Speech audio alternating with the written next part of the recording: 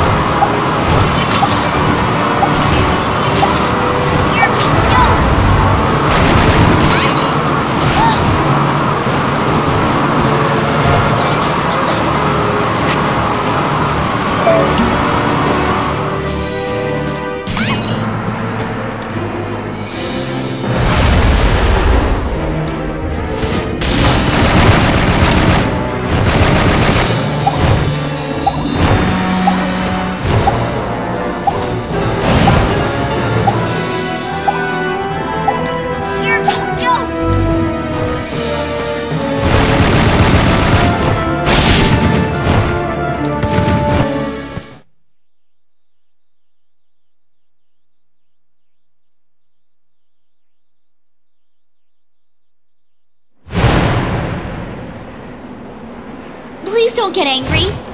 Please calm down, Wagner. The Shadow Knight is in the Netherworld. He would never harm dragons. That is a fine thing for you to say. You, who treat brilliant and noble dragons like dogs. Um, that dragon. An impudent, stupid girl like you will never serve as queen. But your weapon is indeed powerful. I can believe you killed the Shadow Knight. I can say with confidence, the Psyphers are truly a threat to us. We cannot ignore the threat. Do not think it's over. I promise not to use this bow for evil. Well then, what will you use it for? To defeat the Demon Lord. Very well. You foolish jewel handlers should destroy one another.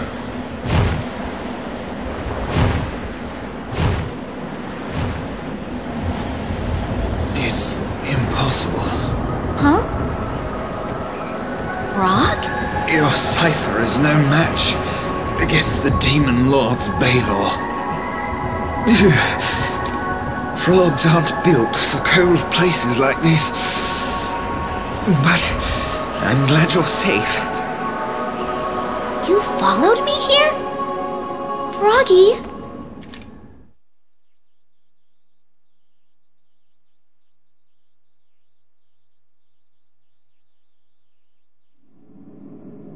A way to win against the Demon Lord's Baylor? Hmm.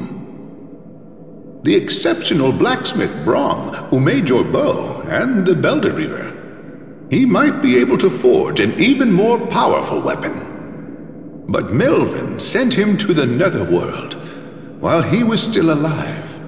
If he is alive, can we bring him back from the netherworld? A horrible idea. That world is so terrifying that not even Beldor would willingly go there. And Beldor is missing. Bringing Brom back is an impossible feat. You really want to go against the Demon Lord's Baylor? Frog! You're better now! I finally warmed back up. I nearly went into hibernation until the end of the world. Well, since I saved you, our kissing deal is off. But that's different.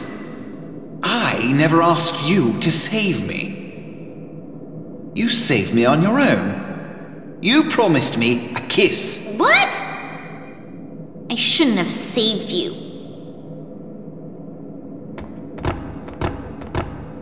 Well then, as a reward, I'll tell you about Beldor.